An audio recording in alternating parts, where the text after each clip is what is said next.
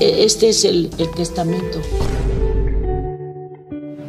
Los últimos días, una triste noticia sacudió al mundo del espectáculo. Carmen Salinas se encuentra hospitalizada y en coma debido a un derrame cerebral que tuvo el pasado miércoles. Antes de lo sucedido, parece que la actriz ya habría dejado listo su testamento. Al parecer, son dos personas las que recibirán lo que hasta ahora se conoce como la herencia de Carmen Salinas. Aunque hasta este momento la actriz sigue con vida, su familia está empezando a ver qué sucederá, con muchos aspectos a su alrededor, como por ejemplo el personaje con el cual Carmen Salinas acababa de empezar a grabar. En la producción Mi Fortuna es Amarte. Ahora resulta que Carmen Salinas no ha mostrado ninguna mejoría, por lo que a través de medios de comunicación ya salió que la actriz tenía listo su testamento desde hace tiempo. El último reporte de salud que se dio de la actriz afirmaba que ella se encontraba muy delicada. Incluso se llegó a decir que necesitarían más especialistas para poder atenderla adecuadamente. Sin embargo, parece que la familia está consciente de que en algún momento Carmen Salinas podría partir de este mundo, por lo que ya están viendo qué sucederá con su herencia. Carmelita Salinas siempre ha sido una mujer muy precavida y ya tenía todos estos documentos en orden, de hecho, hace algunos meses, a través de una entrevista del matutino Hoy, Carmen Salinas reveló que su testamento ya estaba listo. En la plática, ella confesó que quería dejar todo arreglado para que entre sus familiares no hubiera ningún contratiempo. Ya no más queda esta casa y el estudio que dije va a ser para las hijitas de Pedrito.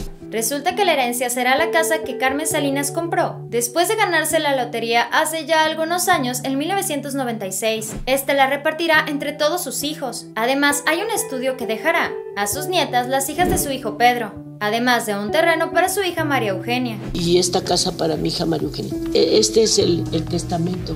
Al momento en el que esta entrevista volvió a salir la luz y se hizo popular en redes sociales, muchas personas comenzaron a decir que no estaba bien que la familia ya diera por hecho que Carmen Salinas ya había partido de este mundo y que empezaran a ver a futuro qué harían con su herencia. Mientras tanto, otros aseguran que Carmen Salinas hizo lo correcto al dejar todo arreglado para que así evitaran contratiempos, como lo hemos visto, por ejemplo, con el caso del cantante José José. A la fecha hay muchísimos aprietos por ver quién se queda con qué y quién no tiene nada. Sin embargo, en redes sociales lo que más se pide es que sí o sí Carmen Salinas se pueda recuperar. Ella ya lleva varios días hospitalizada. El pasado 10 de noviembre, Carmen se encontraba en su casa, descansando después de haber grabado unas escenas para la telenovela Mi fortuna es amarte. En esta ella interpreta al personaje de Doña Magos. Según se informó, la actriz había cenado y estaba viendo su novela cuando alrededor de las 10 de la noche empezó a sentirse mal y de la nada se desmayó.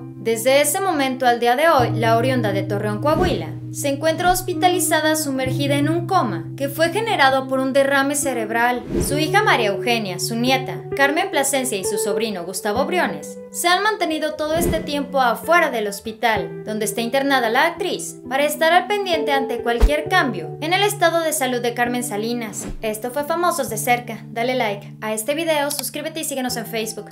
Espero que tengas un excelente día. Nos vemos muy pronto. Bye.